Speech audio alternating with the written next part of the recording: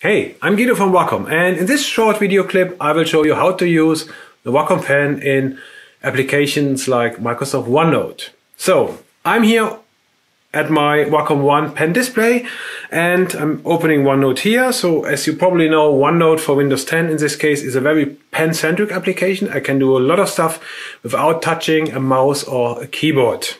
So um, the basic principle of OneNote is it works with section or notebooks and each section can have different pages. So I have a section called e-learning and I want to add a page uh, on Wacom here.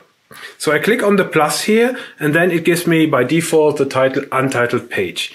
And here on the main part I see the today's date and the uh, and the time and I can already choose one of the pen tools up here and handwrite a title for this specific page.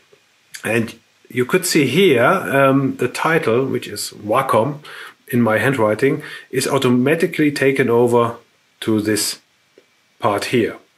However, this is handwriting. This is not, I would say, typed text, but I can easily switch my handwriting into typed text by using the OneNote tools. So in the drawing area, in the menu, there is the lasso tool. It's here, lasso select. So when activating the lasso tool, I can draw the lasso around my handwriting. And then there is a feature called ink to text. If I click on that one, it tries to recognize my handwriting and turns the handwriting into typed text. So now you can see Wacom in letters here. And then as in other Office application, I have a couple of different tools in different colors uh, where I can do my annotations and my drawings within my OneNote page. I can combine also different pen colors and add handwriting.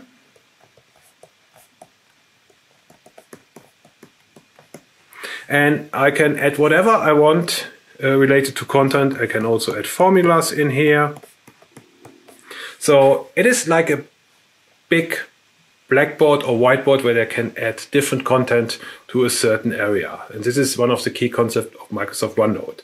And similar to the, to the um, page title, I can also use the lasso tool here to convert my handwriting into typed text by just adding this one. And to be honest, it works most time, but uh, sometimes I really have to work on my handwriting and have to learn better handwriting here because this didn't really work. Okay, thank you very much for watching and take care.